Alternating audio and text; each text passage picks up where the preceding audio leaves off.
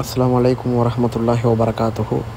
இந்த வீடியோவில் நம்ம பார்க்குறது வந்து அல்ஜுன் ஹஜி சர்வீஸில் ஆகஸ்ட் ஒன்பதாம் தேதி வந்து ஹாஜிங்க. மதினாவுடைய ஜாரத்தை வந்து அட்டன் பண்ணாங்க.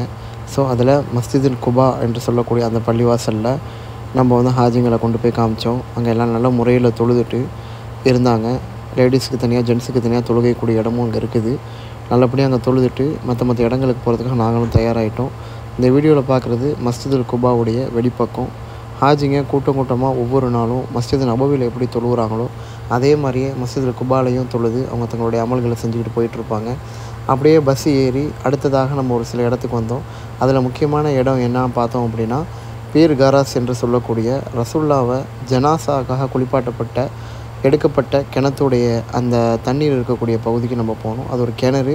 அது வந்து குபாப்பள்ளியிலேருந்து ஒரு பக்கத்தில் இருக்குது. கொஞ்சம் கிட்ட தான் ஸோ அந்த இடத்துல போய் நம்ம ஹாஜிங்களை வந்து என்ன பண்ணணும் அப்படின்னா கூட்டிகிட்டு போய் விட்டோம்.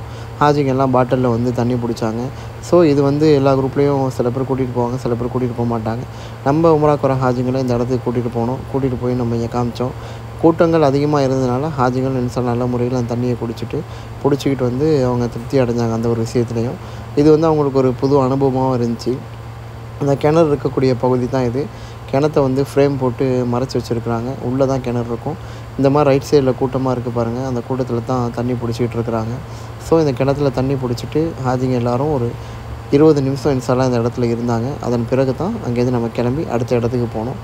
இந்த இடத்த பொறுத்த வரைக்கும் பார்த்தோம் அப்படின்னா உங்களுக்கு காலையிலேருந்து ஈவினிங் வரைக்கும் தான் ஓப்பனில் இருக்கும் அதுக்கு மேலே ஓப்பனில் இருக்காது ஸோ ஏன்னா இங்கே அதிகமான கூட்டம் வரதுனால ம வரதுனால வாட்ச்மேன் நிற்க வச்சு அவங்க செப்பரேட்டாக ஆளுங்களை விட்டுட்டு இருப்பாங்க இந்த கிணறு எப்படி உருவானுச்சு அப்படிங்கிற வரலாறு இங்கே ஒரு போர்டு மாதிரி வச்சு காமிச்சிருக்காங்க ஸோ அதையும் நீங்கள் பாருங்கள் இந்த வீடியோவில் لبيك اللهم لبيك لبيك لا شريك لك لبيك إن الحمد والنعمة لك والملك لا شريك لك.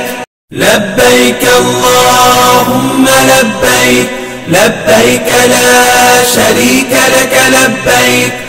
إن الحمد والنعمة لك والملك لا شريك لك. لبيك اللهم لبيك لبيك لا شريك لك لبيك.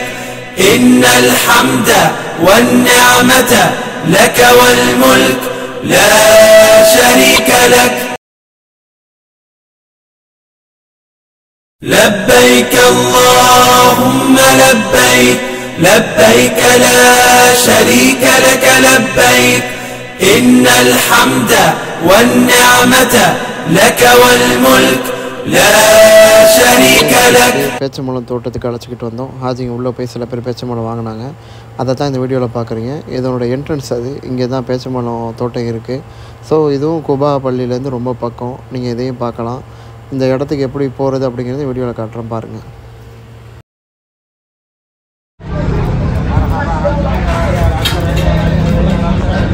இங்கே ஒரு சின்னதாக ஒரு டீ கடை மாதிரி வெளியில் இருக்குது காவா அதெல்லாம் போட்டு கொடுப்பாங்க.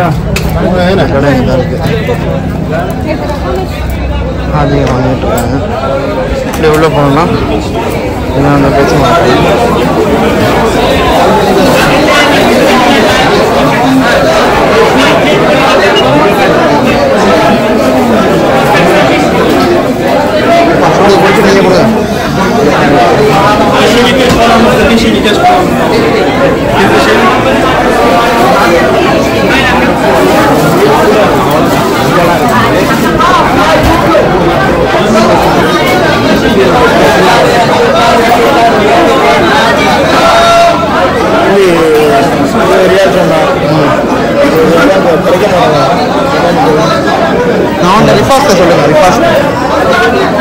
இருந்தாலும் அவனுக்கு அவன் அதெல்லாம்